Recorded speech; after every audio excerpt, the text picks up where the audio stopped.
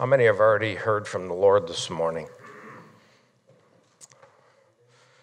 And the rest of you, listen up.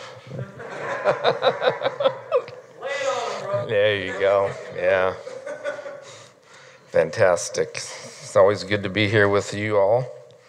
We're uh, getting back, getting back into our study of First Peter. We're in chapter 4 the latter few verses, seven or eight verses there. And I'm not going to go into a ton of review this morning about this letter and why Peter wrote it to these Christians who were running for their lives, scattered all over the place.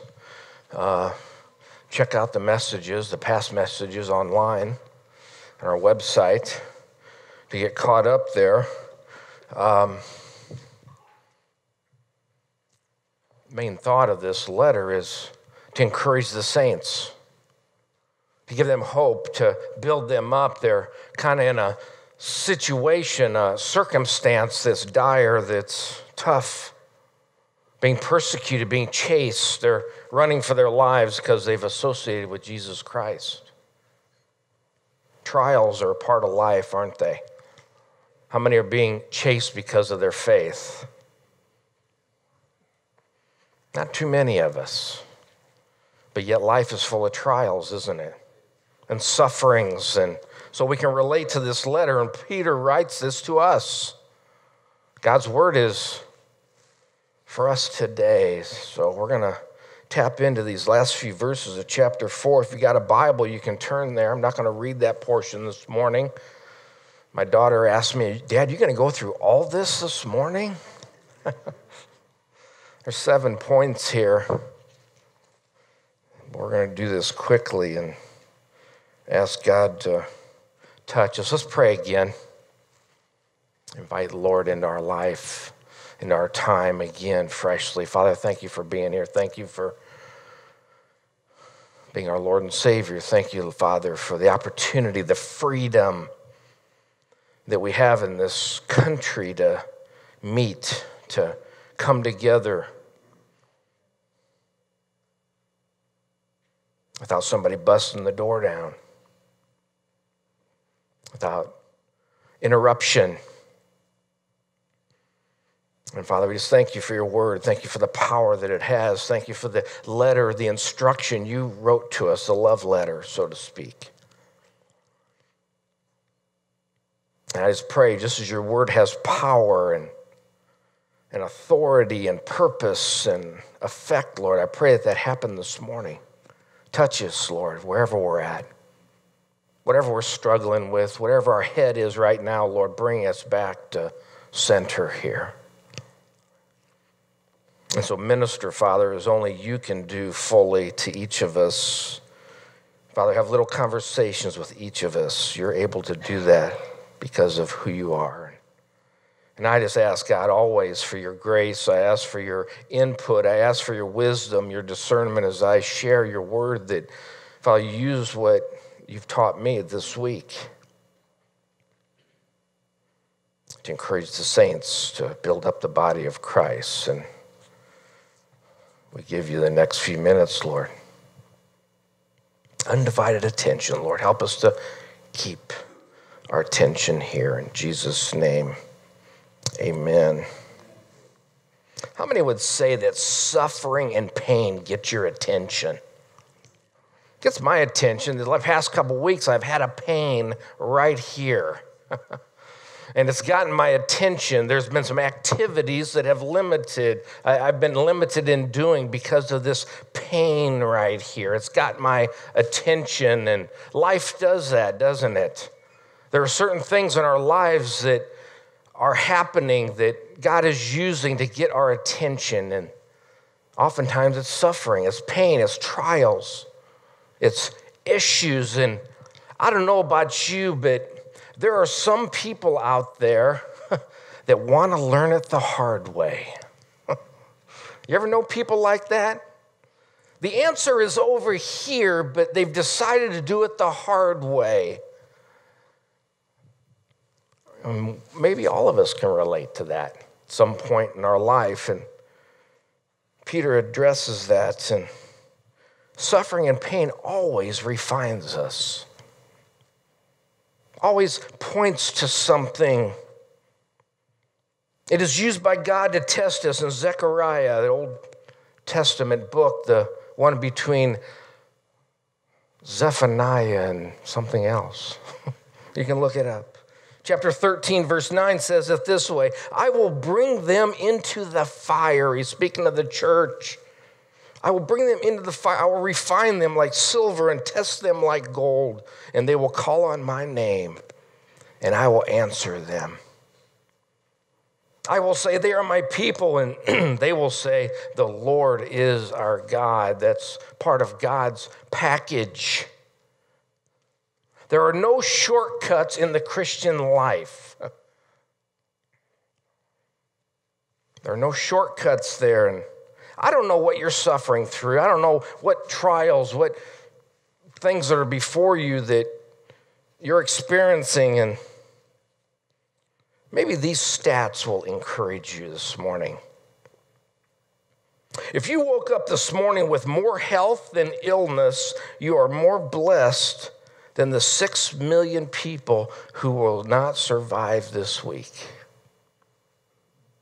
If you have never experienced the danger of battle, the loneliness of imprisonment, the agony of torture, or the pangs of starvation, you are ahead of 500 million people in the world.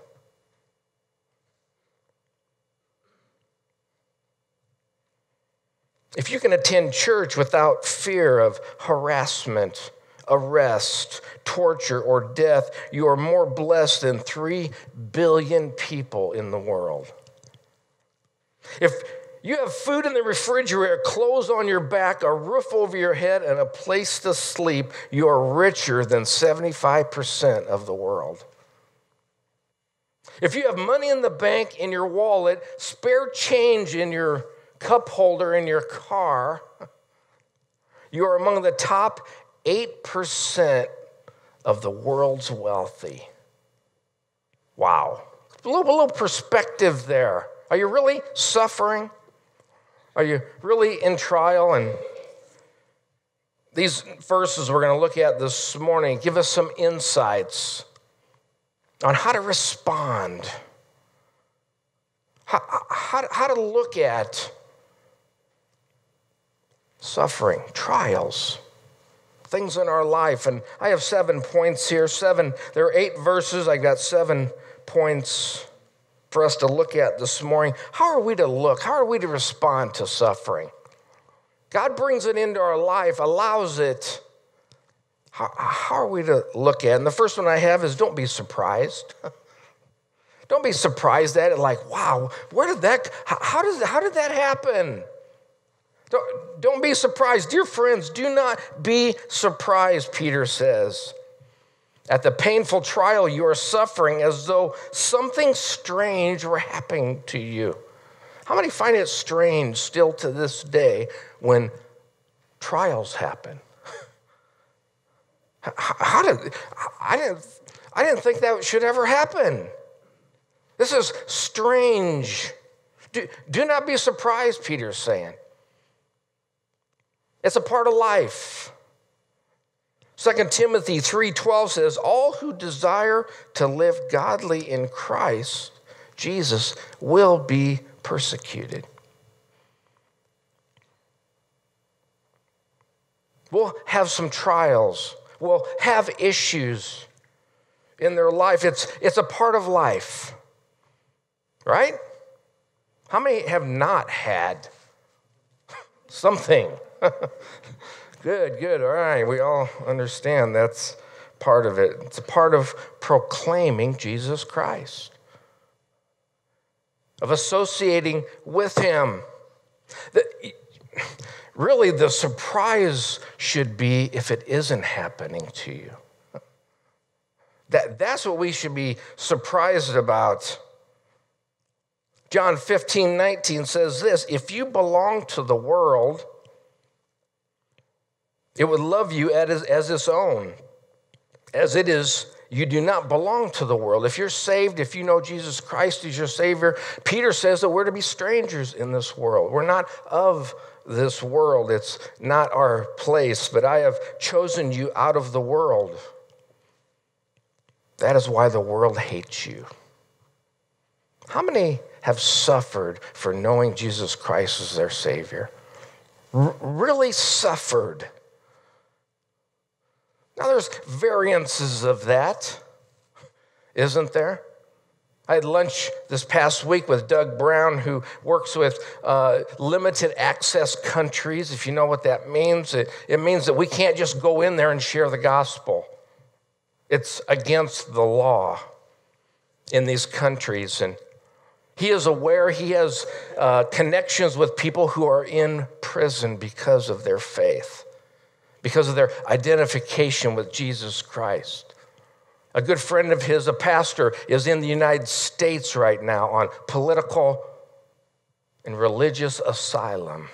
He's being protected because there's a bounty on his head. Suffering for Jesus Christ. Is that happening to you? If we are walking and talking little Christ,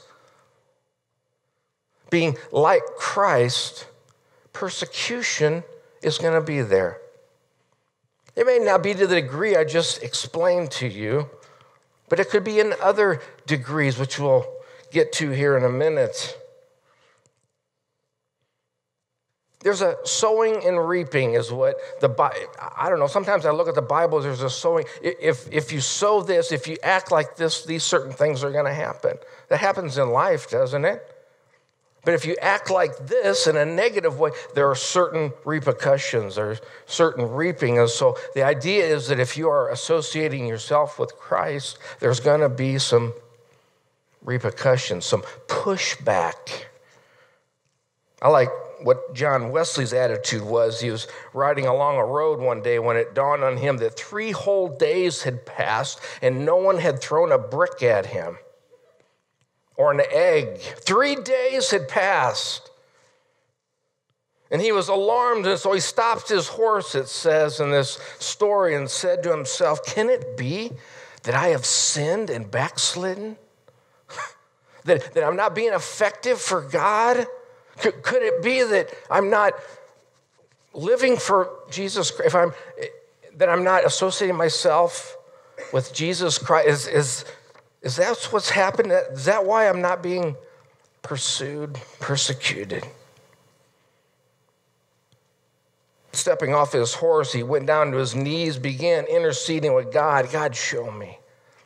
Show me where I've missed the mark, where I've gotten lazy. God, just show me. And evidently, in the bushes nearby, a wrangler, uh, one who was not interested in what John had to say. Here's what he's praying, and he says, I'll fix that guy. and so he ends up throwing rocks at him.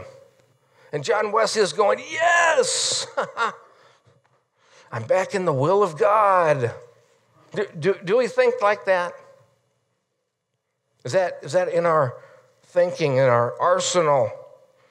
Do not be surprised at the painful trial. The fiery trial, another translation says the, the word painful here is, excuse me, a Greek word that speaks of burning, like a melting furnace, where it purifies them. And I like Psalm 66 here, verse 10 says, For God tests us you refine us like silver. It's, it's a symbolic thing that the furnace melts, it refines. That's part of God's process as believers, is to make us more pure, more like Himself. And how many like that?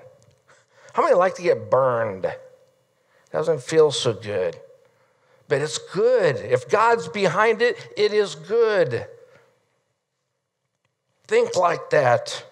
1 Peter 1 6 and 7, we looked at some weeks ago, and it says this though now for a little while you may have had to suffer grief and all kinds of trials. These have come so that your faith of greater worth than gold, which perishes even though refined by fire, may be proved genuine. Your faith may be proved genuine. Let's see what you're made of.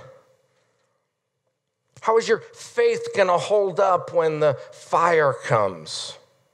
When the persecution comes?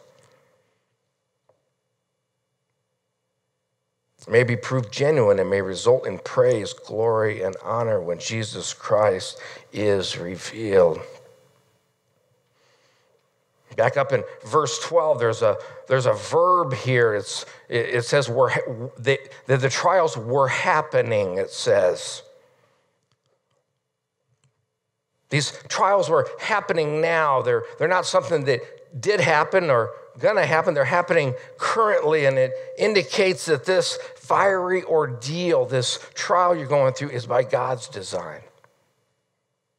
It's, it's not some happen chance. It's not, wow, I wonder where that came from. God's purifying process is through fire, through trials, through suffering. It gets our attention. And Peter's talking here about suffering for righteousness' sake, for identifying yourself with Jesus Christ. And it's a test of our genuine faith. And if you and I are living for the Lord's sake, identifying with Him, there's going to be some pushback. There's going to be, that's what it's saying here. It's going to be evident. There's going to be evidence of that in your life. Expect it. And if you are not experiencing some sort of pushback, where's your faith? Is your faith active? Are people seeing it? Are you opening your mouth? Are you identifying with Christ?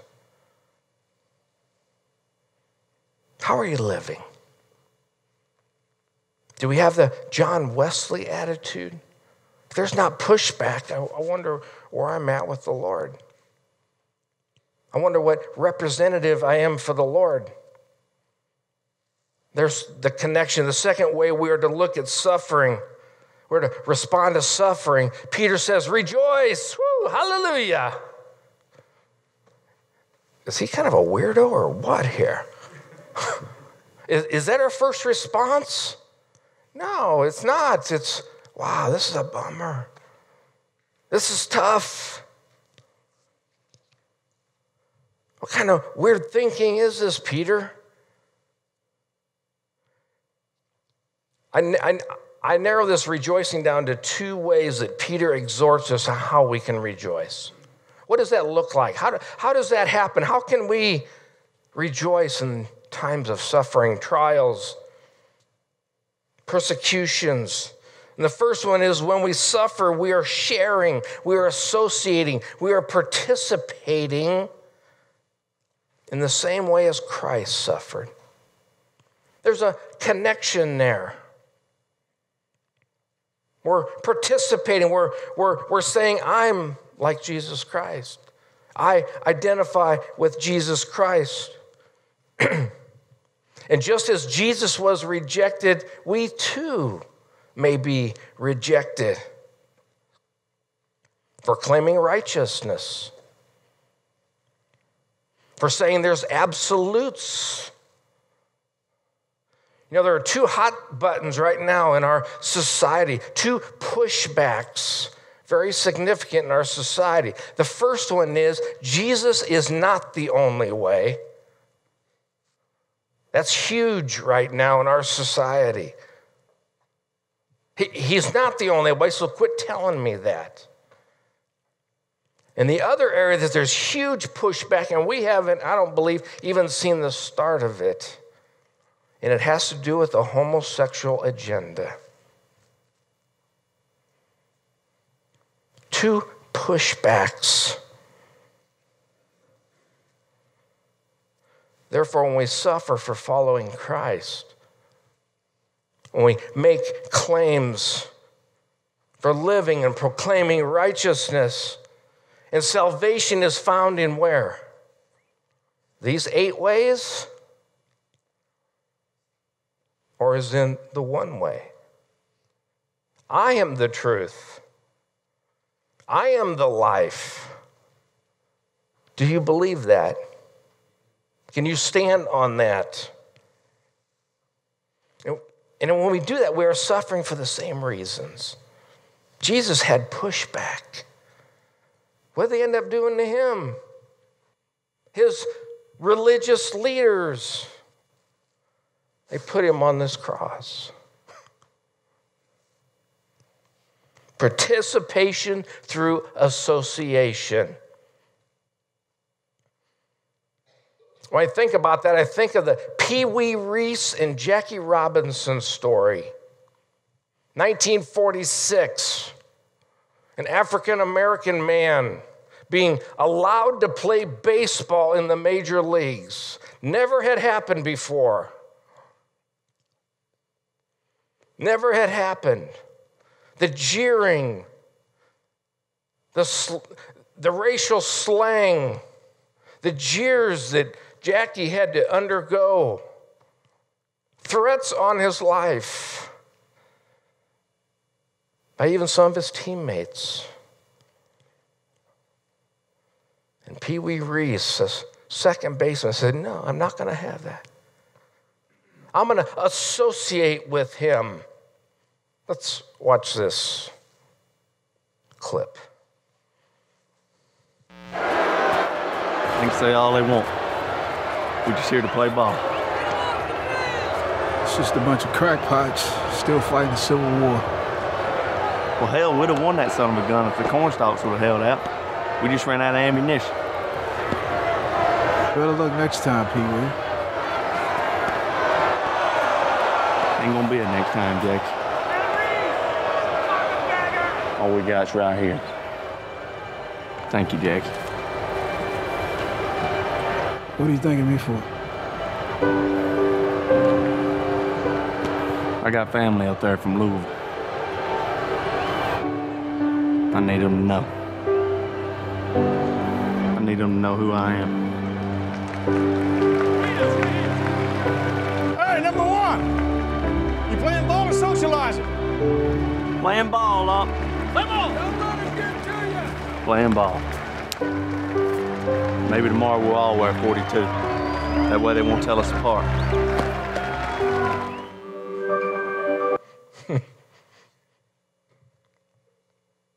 Can you be told apart? Can you can people say that we're the same as Jesus Christ? Are we associating with him? That's the point here. There should be no greater privilege than to be identified with Jesus Christ. Amen. Acts 5:41 the apostles left the Sanhedrin. They left the religious leaders, the group there. And it says of them that they had been counted worthy of suffering disgrace for the name.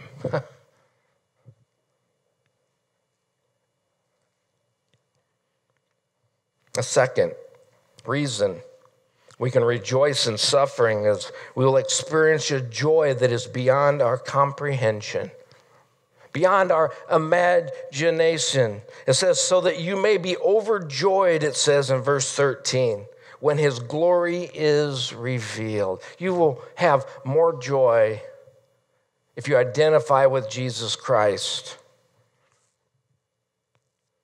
More joy than you ever experienced. I ran across this story this week about a woman who, during the San Francisco earthquake of 1906, there was a Christian lady who came out and was singing praises to God after the earthquake. And people were like, wow, what a crackpot. What in the world is that all about? Everybody else was crying, and some were praying for the first time in their lives. Pain gets your attention, doesn't it? And someone asked her, What do you mean singing praise to God at a time like this? What is that all about? And she replied, I thank God that I have a God who is strong enough to shake this little earth. Rejoicing, praising God, He's in control. If you know Him as your Savior, there's nothing to fear. There's rejoicing. You know, this life here is limited, it's temporary. Peter instructs that your pain, your suffering is temporary. And we can rejoice that we know Jesus Christ. Blessed are you in Matthew 5, it says, Blessed are you when people insult you, persecute you, and falsely say all kinds of evil against you because of me. Rejoice and be glad because great is your reward in heaven. God notices. Hey, they're standing up for me. Hey, they're walking in my shoes. For in the same way they persecuted the prophets who were before you. There's a reward in heaven, a rejoicing in heaven. The third response we should have in suffering it is, is a blessing. You're blessed. Again, a concept that's hard to grasp. If you are insulted because of the name of Christ, you are blessed, happy. You should rejoice, for the spirit of glory and of God rests on you. If you,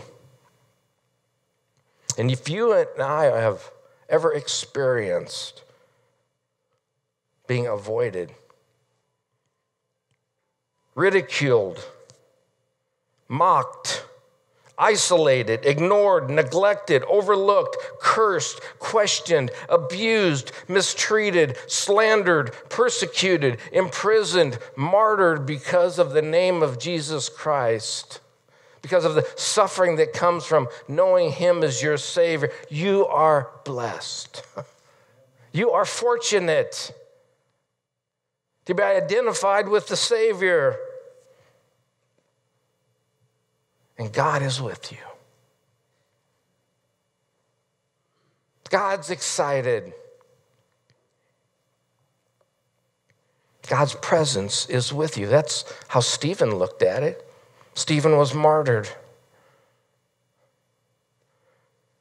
And he was given a defense for his faith, and religious leaders, and here's what they saw it says in the word. They saw his face like the face of an angel. wow. He counted it worthy. Peace, confidence comes from having that attitude. It's a blessing. It's a blessing we have in the Lord. The fourth response we're to have to suffering is don't self inflict it. Don't bring it on yourself, is what Peter's talking about here. If you suffer, it should not be as a murderer or a thief or any other kind of criminal or even as a meddler. If a person violates the law, they are subject to the penalty. That's what he's saying here. I'm not talking about suffering for not doing what's right or, or for, for not doing what's wrong, but for right. You deserve to suffer if you violate the law. This is not suffering for the Lord. This, this is not what I'm talking about here. He's talking about suffering for doing what's right, standing up for what's right, not breaking the law. The word meddler here is this, this idea of being a troublemaker, being a busybody, stirring up stuff. It's a certain conduct. Don't be that way. Don't be a troublemaker at work, in the neighborhood, with your family, But share your faith. Share your faith without compromise. Some people ask me, how do I do that in my workplace? There's policies. There's balances. There's prohib people are we're prohibited. That's that's fine. We need to work within those boundaries. But there are ways to do that. There are ways to communicate We not only communicate our faith by our words, but we do it by our actions, by how we respond or not respond. We talked weeks ago about being humble, being submissive to our employers. People see that, people watch that. It gives you room to talk about why are you that way? How are you able to stand there and take that from that boss? And you got an opportunity. because I'm trusting in Jesus Christ. He's my Savior, He's the one that's in control here. Don't self inflict the suffering. 1 Timothy 1 9 and 10. We also know that the law is made not for the righteous, but for lawbreakers and rebels, the ungodly and sinful, the unholy and irreligious, for those who will kill their fathers or mothers, for murderers, for adulterers and perverts, for slave traders, liars, perjurers, and for what else is contrary to the sound doctrine. Don't inflict suffering doing these things. We're also Number five, we are also to be proud to bear his name. You know, having pride is not always negative. We can have pride in a lot of things. And I believe this is one of them. We can be proud to bear his name to be associated with Jesus Christ. However, you suffer as a Christian, Peter goes on to say, do not be ashamed, but praise God that you bear that name. Are you proud to be Jesus, uh, a believer in Jesus Christ? Are you willing to raise the flag, to wear the sandwich board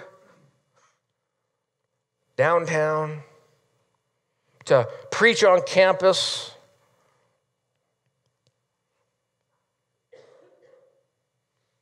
To address a, a wrong thinking. How does that come out in your life? Are you proud to be that way? Did you know the name Christians was given to these Christ followers in a derogatory way, a sarcastic way? They didn't bring it on themselves, they didn't choose that word for themselves.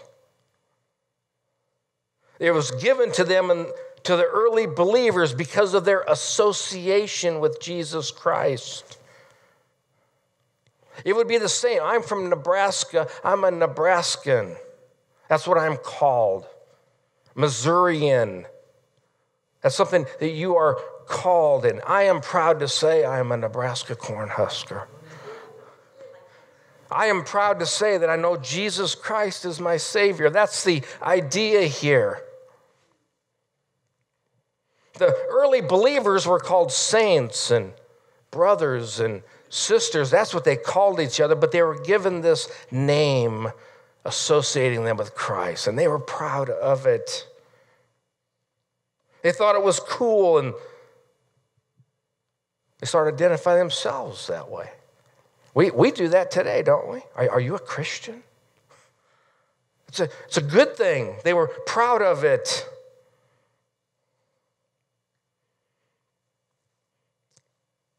Spoke earlier of getting a few minutes with Doug Brown, and he's got a particular guy that he's been reaching out to, and he's this close from accepting Christ. And, and he was telling, telling Doug that in his country, you know what spoke to him the most? It, it, it, it's not the gospel, the word written gospel. Yeah, okay, okay, yeah. But what got his attention was the Christians who were meeting needs over here, who were touching the less fortunate, the, the poor, the, the ones that are hurt. That, that's what our, our, our, our people don't do that. But you Christians, I want to be like you in that. Now, what's holding him back is this guy is evidently a very intellectual type. And, and of course, we just had the Easter right? And Doug's talking to him about Easter and Jesus rose from the dead. And he goes, Yeah, yeah, yeah, I get that. Okay, I get that. He's, the tomb's empty. I get that. How did he do it? that, that's what he's wrestling. How, how did he do it, though? Doug's like, Well, okay, let's address that one. Various ways to communicate and be identified with Jesus Christ. The word Christian is only used three times in the New Testament. It's said of the believers, it says the disciples at Acts 11 26, the disciples were called Christians first at Antioch. They were called that, they were identified that way. Acts 26, 28, King Agrippa said to Paul sarcastically, Do you think in such a short time that you're going to make me a Christian? And then here in Peter, here in Peter, we see the, the third situation. The point is that you and I should never feel ashamed to represent Jesus. We should be proud of it. Proud and thank God that He's given us, us that opportunity, that privilege. It's, it, it's kind of like the thought that we've shared before is that if you were in a court of law and would there be enough evidence to convict you of being a Christian? What, what would they point to? What evidence would they point to when it comes to that particular situation? And so Peter said, Count it a privilege really one of the highest privileges there is, is to be associated with the King of Kings, the Lord of Lords. And Romans 1.16, I, I really like this thought, for I am not ashamed of the gospel. I'm not ashamed of the gospel. Because it is the power of God for the salvation of everyone who believes first for the Jew, then for the Gentile. Do you, do you believe that? Can you, can, you, can you say that? Can you agree with that? The sixth point here, the sixth response is to accept that suffering strengthens our faith. Have you accepted that? We've talked about that numerous times. Is that in your arsenal of thinking? For it is time for judgment, it says here, 1 Peter 4 17 and 18. For it is time for judgment to begin with the family of God. He's talking about the church. It's not the judgment of eternal judgment, meaning whether you go to heaven or hell, it's a judgment of refinement making us more pure. That's what he's addressing here. For it is time for judgment to begin with the family of God. And if it begins with us, what will the outcome be for those who do not obey the gospel of God? And if it is hard for the righteous to be saved, what will become of the ungodly and the sinner?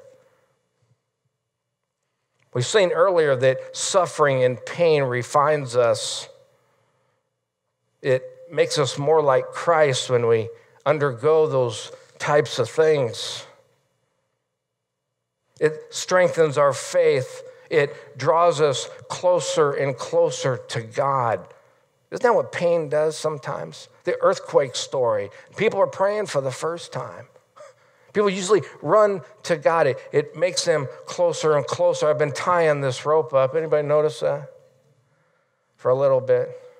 One time this was five feet long, and now we're down to a few feet. These knots represent trials in our lives, sufferings. Look at this rope as if this was Jesus on one end and us on the other. The knots have brought us a little closer to Him, haven't they? That's what suffering does. That's what trials do. They're to they're built into our life. God allows them to bring us closer to him. That's the idea here Peter is saying and and God uses those things in our life. He judges us, so to speak, to see how strong our faith is and, and, and really in the sheep and goats, I'm not going to go into that whole portion. That talks about separating the carnal Christians from the real Christians. That's what this judgment is referring to. To purge our lives, to bring us closer to God, to reveal where we're really at. Separates us from the pretenders and it says this judgment, these trials, these sufferings are to happen right here, are to begin right here in our house. Adam and I have at times asked God to reveal sin in our camp so that we can become more pure, so that we can be a brighter light on the hill. And that has happened at times where God has revealed sin or thinking in our camp. It's been good. It's been awesome. It's God has found found it out and has touched it.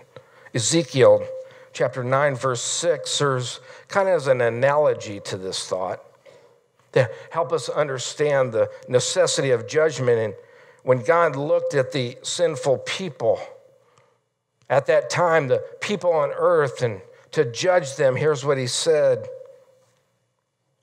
He said, Start the judgment from my sanctuary, in my house, with my people. And he says, begin it with the elders. Begin it with the leaders. God, check, check their spirit. What is their attitude? What is their life like? How, how many know me? Really know me? Some of you more than others, my wife. I'm not perfect. I'm not perfect. And yet, God wants us to evaluate sometimes how we're doing. Wants to purify us, make us holy. What will the outcome be for those who do not obey the gospel of God? What is their outcome? If it's hard for the righteous to be saved, you know, I barely made it into heaven in one sense. It's because of Jesus Christ. I accepted Jesus Christ as my Savior. But there are many that do not and will not accept that fact. What, what happens to them? If believers are not spared suffering, what will be the lot? What, what will happen to the unsaved? In Matthew chapter 25, verse 46, gives us an answer.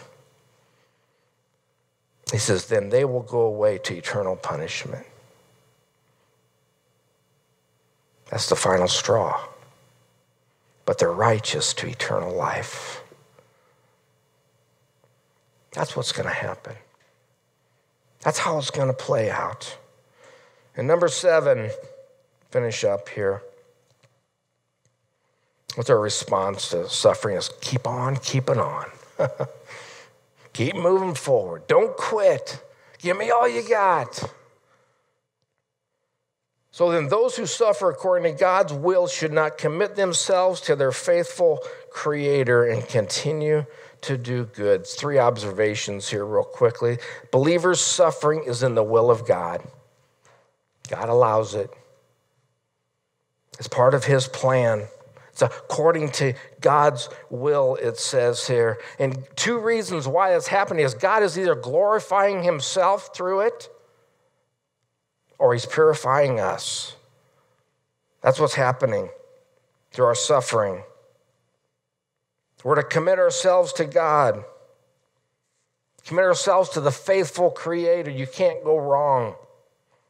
You can't go wrong. Just like I have a safe deposit box and I have some articles and some papers in there that are secure, that are protected, they're deposited in. The same is true in our spiritual realm. If we've committed ourselves, if we trust in God as our Savior, there's a deposit there, guaranteed to be protected. And trust yourself into His hands. God is faithful, He can be trusted. Continue to do good. Keep pressing on. Make progress. What's the next step for you? Do not grow weary in doing good in Galatians. Finish with this verse, 2 Timothy 1:12. That is why I'm suffering as I am, Paul said. Yet I am not ashamed because I know whom I have believed and am convinced that he is able to guard what I have entrusted him for that day. Wow. Awesome promise. Awesome thought. Father, thank you for your word this morning. Thank you, God, for the instruction on how to live in this life and, and uh, undergo, Lord, uh, the things that come in and you allow in, Lord, to bring about pain and suffering and, and, and really growth, Lord. We thank you that you love us. That's a uh, evidence of your love is to make us more like yourself, and you allow those things. We thank you for demonstrating that. And I pray, Father, that you help us, Lord, to put into practice that which we've heard this morning. In Jesus' name, amen.